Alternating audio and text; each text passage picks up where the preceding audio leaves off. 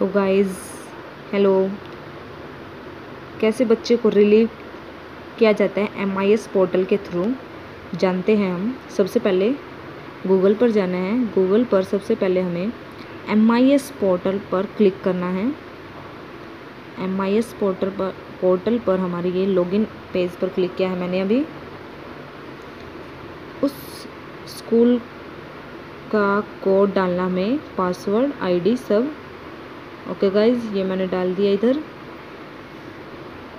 Okay M I S लिखा हुआ हमारे पास यहाँ पे। इस पर क्लिक करना है first of all then click on the student admission after then click on relieve the student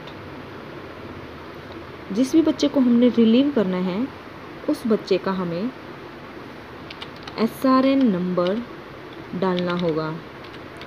okay. ये मैंने एन नंबर डाल दिया है। उस बच्चे की क्लास सेलेक्ट करनी है। जिस भी क्लास में वो बच्चा है। जैसे एट्थ क्लास में है ये बच्चा।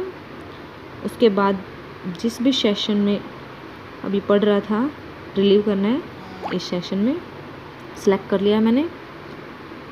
गेट इन्फॉर्मेशन पर क्लिक करना है। उसके बाद हमें रीज़न बताना है कि क्यों हम रिलीव कर रहे हैं। क्या रीज़न है? ओके? जैसे अभी नेक्स्ट हायर क्लास में हो चुका है बच्चा तो इसलिए हमें यहाँ से completed highest class in school पर क्लिक किया मैंने। इस बच्चे की डिटेल आ चुकी है हमारे पास, मैंने सेलेक्ट किया और प्रोसीड्स पर क्लिक किया है। आफ्टर देन कंफर्म कर दिया मैंने इसको। Yes then click on again student admission okay guys then click on issue SLC जिस बच्चे का हमने पहले एस आर एन नंबर डाला था, वो अब दोबारा से हमें फिल करना है यहाँ पर। यस मैंने डाल दिया इधर। गेट इन्फॉर्मेशन पर अगेन क्लिक किया है। ये इस बच्चे का आ चुका है हमारे पास। एट्थ क्लास में है। मैंने इसको सिलेक्ट किया है अभी।